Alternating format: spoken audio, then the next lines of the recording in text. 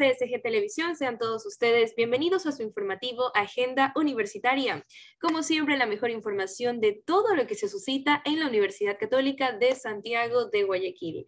Mi nombre es Paula Kuhn y hoy vamos a hablar sobre un tema que yo siento que a muchos de los estudiantes y por qué no graduados de la carrera de contabilidad y auditoría nos interesa mucho. Sé que muchos se han de preguntar cuáles son estas oportunidades que te brinda la carrera de contabilidad y auditoría y es por eso que hoy me encuentro con Gabriel Ávila, quien es estudiante de la Universidad Católica de Santiago de Guayaquil y nos va a contar un poco también acerca de su experiencia personal estudiando esta carrera. ¿Cómo estás, Gabriel? Un gusto que nos acompañes hoy en Agenda Universitaria. Buenas tardes, ¿qué tal? Eh, eh, mucho gusto, Paula. Eh, para mí es gratificante que ustedes me hayan dado este espacio para hablar de un tema muy importante, ¿no? que es este, las ofertas laborales que tenemos los que estudiamos la carrera de contabilidad y auditoría. Pues para darles una pequeña introducción como tal, eh, la carrera mm, simplemente no se enfrasca en un solo punto, tenemos varias ramas en las cuales podríamos hablar un poquito más adelante, pero como tal la carrera sí demanda de mucho trabajo. Entonces no es una carrera que no nos permita poder trabajar como tal. Cuéntame un poco acerca de tu experiencia personal. ¿En qué ciclo de la carrera estás ya? Eh, me encuentro en sexto ciclo. Sexto ciclo, ya pues ya llegando al final de la carrera. Y cuéntame de estas oportunidades laborales que muchas veces se les presenta a los chicos. Sé que dentro de la carrera de contabilidad y auditoría muchas veces todavía no se han graduado y ya están trabajando. Eh, la carrera como tal eh, nos, nos, permite eso, pues, ¿no? una malla curricular en la cual nosotros podamos adaptarnos al trabajo y al estudio. Eh, de hecho, la carrera también requiere mucho eso, de nosotros tener una práctica eh, constante y eh, complementarlo con lo que nos enseñan en la universidad. ¿no?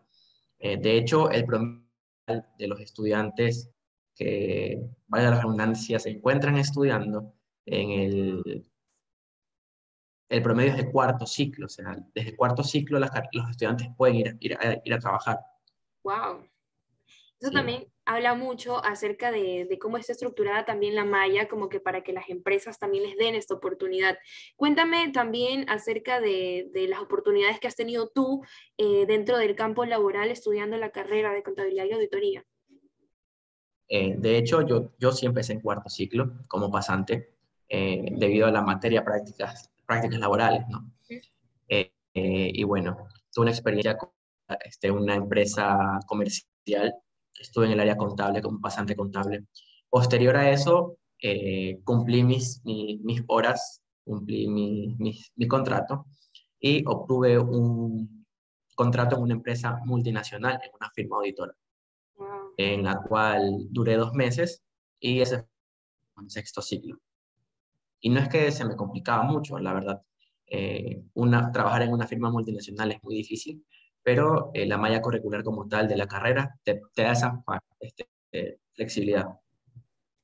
¿Cómo es esa experiencia también de uno estar en cuarto ciclo? Yo sé que a veces en los primeros ciclos de la carrera es bastante emocionante cuando se tiene esta oportunidad de poder tener este acercamiento con la vida profesional. ¿Cómo fue tal vez esta primera vez que, tuviste este contacto tal vez ya más de cerca con la carrera que estudias? Eh, de hecho, sí fue un poco chocante al inicio. Eh, no, no solo yo, todos mis compañeros ¿podremos nosotros estudiar y trabajar? Y algo que no nos dábamos cuenta es que la carrera te permite trabajar desde el primer ciclo, pero el promedio como tal es de cuarto ciclo.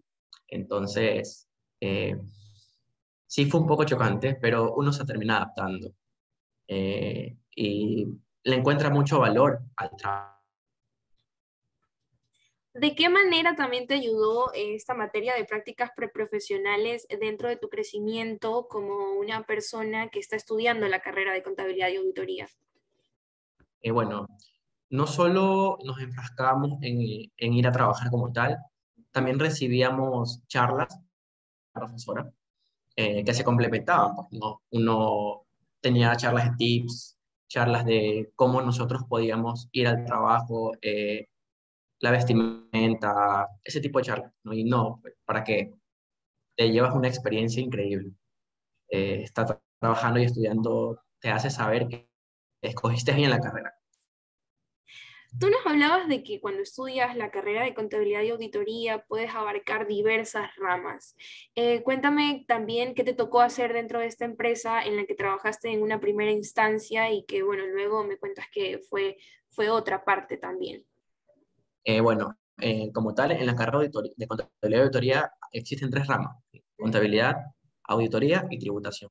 Okay. Por el momento he abarcado solo dos ramas, que es la contabilidad, que fue mi primer trabajo, Estuve como pasante contable y me, me encargaba de, de hacer los, los, archivos, por ejemplo, los estados financieros, analizarlos, conciliar cuentas, registrar facturas.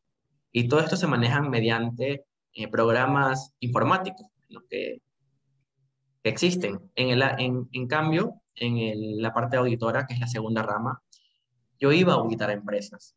Como es multinacional, eh, son empresas que ya o sea, tú entras, tienes que hacer esto, esto y esto.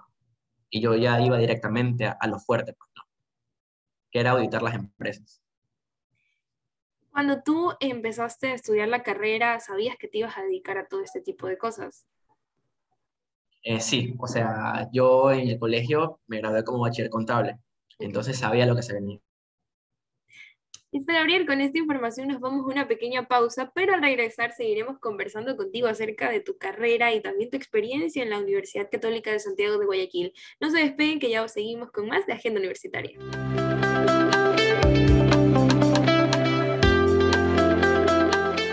Amigos de UCSG Televisión, continuamos con más de su informativo Agenda Universitaria. Estamos conversando con Gabriel Ávila, estudiante de la carrera de Contabilidad y Auditoría en la Universidad Católica de Santiago de Guayaquil.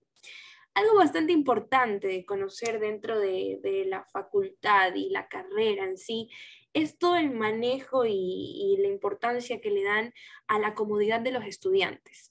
Por ahí, tras cámara, me contabas eh, que la universidad te ayuda con ciertos sistemas informáticos para que puedas desarrollar eh, tu carrera y, las cosas que abarca la carrera eh, de mejor manera. Cuéntame un poquito acerca de esto y cómo te ayuda la carrera con este tipo de, herramientas. Bueno, para la herramienta como tal de la carrera de contabilidad y de la materia de contabilidad, existían horas extras, extras curriculares, ¿no? En la que nos enseñaban eh, el programa contífico, un programa que realmente nos servía mucho para el funcionamiento de estados financieros. Eh, duraba aproximadamente tres en los primeros ciclos, en los que por lo general las personas no trabajaban y aprovechábamos ese tiempo en utilizarlos en los programas informáticos. No tan solo eso, sino que la universidad también te brinda esa facilidad de tener tu propia cuenta de Contífico y poder usarla a tu manera y poder entender cómo está la plataforma. Perfecto. Sabes que se me viene una pregunta a la mente y siento que tal vez muchos chicos que sienten esta cercanía con, con, la carrera de contabilidad y auditoría o que muchas veces pues sienten esta pasión tal vez por los números y por la contabilidad. Bueno, ustedes son los expertos, ¿no? Eh, pues se han de preguntar, ¿no? ¿Qué, ¿Qué, abarca en sí la contabilidad de la auditoría y qué puedo hacer yo si es que tal vez no me gradué como tú, tal vez, Gabriel, de, bachiller contable, pero quiero estudiar contabilidad? ¿Habría algún choque en ese sentido cuando yo entre a la universidad? Eh, bueno, no te voy a contar mi experiencia personal porque yo vengo de un bachiller contable. Claro. Los que vienen de un bachiller unificado. ¿Qué pasaba?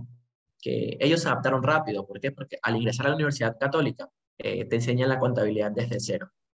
¿okay? Entonces sí tenemos esa facilidad de que los profesores entienden de que hay gente que no entra sabiendo contabilidad, pero aquí en la universidad sí te brindan ese apoyo. ¿Cómo encuentras la vocación de que querías estudiar contabilidad? ¿Lo sabías desde el colegio porque fue la rama que escogiste? ¿Cómo encuentras entonces el saber que esto era lo que querías hacer?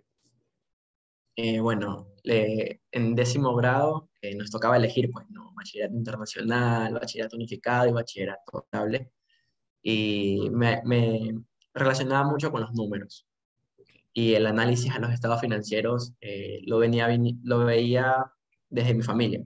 Entonces, sí entendía un poco el tema y desde ahí entré con la carrera. Cuando hablamos acerca de la carrera de contabilidad y auditoría, también sé, y bueno, por ahí tú, tú nos adelantabas que abarcan otro tipo de cosas. Hablábamos sobre la contabilidad y también esta, esta experiencia que tuviste dentro de las prácticas preprofesionales con, con esta rama de la, de la contabilidad. Luego está la auditoría. ¿De qué se trata esto, Gabriel? Bueno, la auditoría es algo más, eh, muy aparte. ¿no? En la auditoría como tal, las, eh, las empresas, hay, hay, un, hay, una estadística que dice que las empresas, de la, o sea, la superintendencia dice que hay 16.000 empresas que requieren de auditoría. Es decir, que necesitan ser evaluadas y analizadas como tal. ¿Para qué sirve esto? ¿Para qué sirve la auditoría como sirve para saber si la empresa está llevando un buen funcionamiento, ya sea con los inventarios, con las cuentas, con las cuentas de bancos y bueno, cosas así. Y luego está la otra parte que también es la tributación, o sea, es como tres cosas en una sola y si te gradúas de esta carrera puedes hacer las tres. ¿De qué se trata la tributación? Bueno, la tributación es el manejo tributario, bajo las disposiciones que la ley dispone, pues, ¿no? Eh, también mantiene controles muy rígidos, ¿listo? Eh, la tributación se enfrasca más en lo que se maneja a nivel de país, Listo, ahí varía. En cambio, la auditoría como tal y la contabilidad es a nivel internacional. Que si yo voy a otro país y yo sé contabilidad y manejo las NIF, que son las normas internacionales, eh, yo puedo trabajar en otro país. En cambio, con la tributación es un poco más difícil por las leyes que existen en cada país. La tributación sería algo como que un poquito más segmentado para dentro de un país. Correcto. Cuéntame, Gabriel, entonces, eh, ¿cómo hacen los estudiantes que tal vez pues sienten esta afinidad que a muchos nos pasa, ¿no? A muchos nos pasan de las diferentes carreras que tenemos, pero ¿qué pasa con los estudiantes que tienen esta afinidad? Tal vez como tú con la carrera de contabilidad y pues tienen que abarcar materias que también tengan relación con la auditoría y con la tributación. Eh, dentro de tu experiencia personal, pues, ¿cómo has hecho también para sobrellevar todo esto que tienes más afinidad pues con la parte contable? Eh, bueno, ah, por el momento eh, como me encuentro en sexto ciclo, no he abarcado eh, todas las materias de tributación, pero esa es, la, esa es la facilidad y esa es la oportunidad que tenemos los contables como tal. Al cumplir nuestros ocho semestres, nosotros podemos eh, la rama que queramos, porque estamos, estamos aptos para cualquiera de las tres ramas. Entonces, ¿cómo yo encontré la afinidad? Porque mi afinidad es hacia la contabilidad, es el valor de poder realizar y analizar los estados financieros, que es lo que más me gusta. ¿Cómo hacer también, eh, Gabriel? Y siento que esta pregunta es muy importante. Muchos chicos que recién tal vez están dejando el colegio y sienten esta afinidad con la carrera, se han de preguntar. Sabemos que la carrera de contabilidad y auditoría es una carrera de alta demanda. ¿Por qué estudiar una carrera donde muchas personas eh, piensan como una de las primeras opciones en poder estudiar? Yo siento que eh, las personas siguen estudiando esta carrera no tan solo por pasión, sino porque aunque haya alta demanda, sabemos que cada año eh, las microempresas y empresas van creciendo, ¿no es cierto? Y nuevos emprendimientos se van dando, nuevos emprendimientos van teniendo forma, ¿no? Entonces, hasta los emprendimientos pequeños necesitan de saber contabilidad. Entonces, por esa razón, siento yo que las personas siguen eh, aprendiendo y estudiando. ¿Lo ves entonces como una facilidad de tal vez conseguir empleo dentro de la carrera? Porque hay una alta empleabilidad dentro de la, de la carrera de contabilidad de auditoría, que sé que muchos de nuestros estudiantes pues consiguen empleo, casi el 98% de ellos. Eh, pues seguirías recomendando entonces que, que, estudien este tipo de carreras? Sí, de hecho sí. Eh, aunque existan programas informáticos que básicamente te lancen los, los resultados eh, ya finales, eh, siento que tiene un cerebro que analice eso, ¿no? Eh, y sí, o sea, yo sí recomiendo estudiar esta carrera, para que, o sea, es muy bonita, no es tan complicado como todo el mundo lo ve, y sí es accesible al, al, mundo, al mundo externo. Con esta información ahora nos vamos a una pequeña pausa, pero ya regresamos con más en Agenda Universitaria.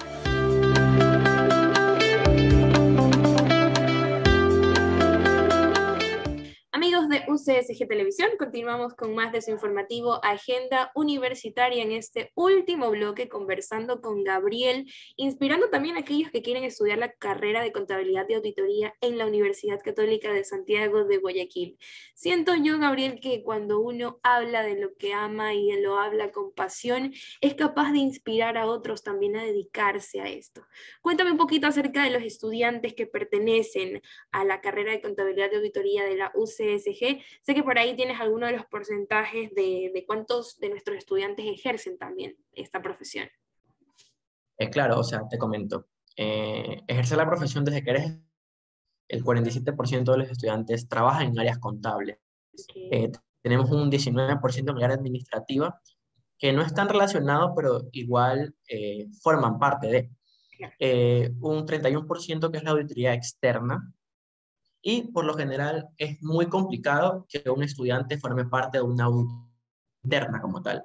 Ahí sería un 3%. ¿Por qué? Porque ahí necesitas un título para formar parte de una auditoría interna dentro de la empresa. La externa y la interna se diferencian mucho en el que el auditor interno como tal eh, toma los controles de su empresa. Y el auditor externo toma controles de otra empresa. Pues no, hay horas y así. ¿Cómo se maneja también eh, dentro de, todo lo de la contabilidad, la auditoría y la tributación en el momento en el que, bueno, está bien, nuestros estudiantes trabajan, ¿tienen algún tipo de limitaciones hasta el momento de graduarse? Eh, pues no, la verdad es que cuando nosotros eh, trabajamos siendo estudiantes, firmamos un contrato como pasante, ¿no? que el 100% de las prácticas preprofesionales son remuneradas. impedimento como tal, no, las personas que nos contratan tienen estipulado que nos deben dejar estudiar o si tenemos algún tipo de evento con la universidad, nos deben dar esa facilidad. ¿Y en los lugares donde ustedes realizan las prácticas preprofesionales, eh, son dirigidos desde la facultad, desde la carrera, o los consiguen por su cuenta? En el caso de que los consigamos por nuestra cuenta, se firman convenios, pues no, y nosotros los estudiantes eh, hacemos los convenios con las, con las empresas y la universidad.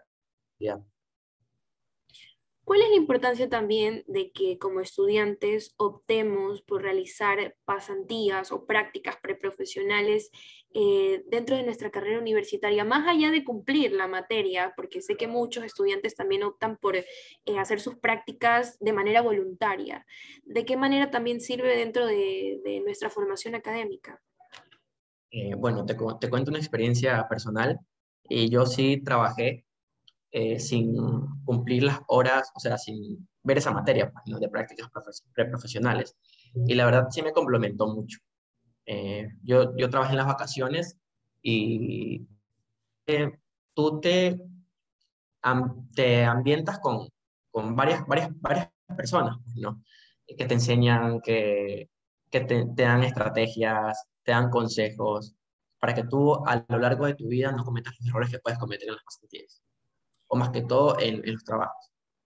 ¿Qué te animó también a ti? Porque me dices que tú voluntariamente acudiste a las pasantías y sobre todo en vacaciones, que los estudiantes normales, comunes y corrientes preferimos dormir. Tú dices que fuiste voluntariamente a hacer tus pasantías. ¿Qué te animó también a, a lanzarte al mundo profesional y querer hacer tus pasantías de manera voluntaria? Eh, bueno, la verdad, y ser sincero, es que nunca eh, me imaginé como que tomar mis vacaciones para trabajar. Eh, de hecho, en ese momento dije, estaba viendo las páginas de trabajo y quería aplicar como pasante. Y lo que realmente me, me animó fue encontrar esa, o salir de mi mundo de solo ser estudiante y entrar a un mundo ya más laboral. Quería ambientarme para estar listo para las prácticas preprofesionales. Allá va también un, tema interesante para muchas de las personas que tal vez quieren aventurarse a esto de, poder tener eh, la experiencia laboral. ¿Cómo puedo hacer yo si tal vez soy estudiante y quiero aplicar a un trabajo o quiero aplicar a una práctica preprofesional? ¿Cuál es el procedimiento que, que seguiste tú y que puedo seguir si es que yo quiero también poder hacerlo? Eh, bueno, si me dices que es sin, sin ver la materia, pues únicamente te contactas con la empresa y generas un convenio. Pero la maestra tutora, en ese caso, de la materia, eh, te, ayuda con, te ayuda con la lista de, de oportunidades de trabajo. Pues, ¿no? Te da una lista y tú ves a cuál aplicar, aplicas y si existe un convenio, pues simplemente entras a trabajar. Pero si no existe el convenio, generas el convenio, haces la entrevista de trabajo y pactas con la ¿De qué manera también prepararte para, para, esta entrevista de trabajo? O yo siento que también es una pregunta importante saber cómo saber a qué trabajo aplicar dentro de mis pasantías. Eh, siempre los contables debemos aplicar a pasantías en el área contable o auditoría más que todo. Las primeras, eh, los primeros ciclos que nosotros vemos las materias completas, por ejemplo, yo ya vi contabilidad y sé contabilidad, entonces yo aplico para un área contable. ¿Y por qué lo hago así? Para reforzar mis conocimientos con el área, con la práctica. Lo mismo en auditoría. Ya había auditoría 1, 2, 3, 4 y la complemento con la práctica profesional y cómo saber también cómo prepararte para ese día de la entrevista en caso de que te toque y tal vez yo no tengo experiencia laboral y no sé si a ti te pasó que tal vez te tocó ir a alguna entrevista de trabajo y bueno, obviamente siempre los nervios de la primera vez. ¿Cómo es esa experiencia de, de tener que pasar por esto y aplicar a un trabajo profesional ya? Bueno, eh, la, la, vez que sí pasé nervios fue en la empresa multinacional.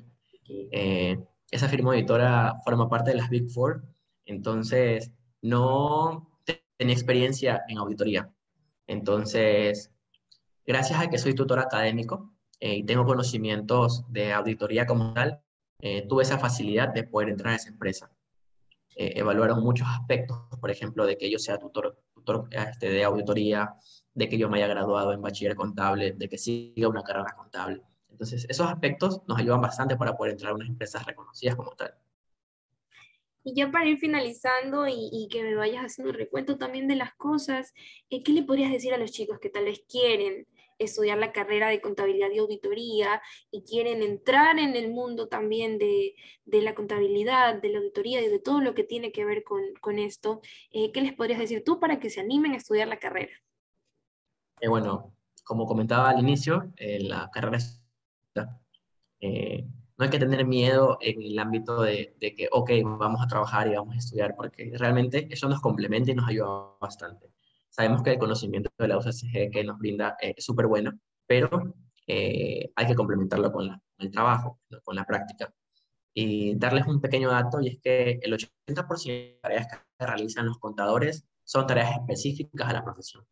No es nada de lo que no nos enseñan en la universidad.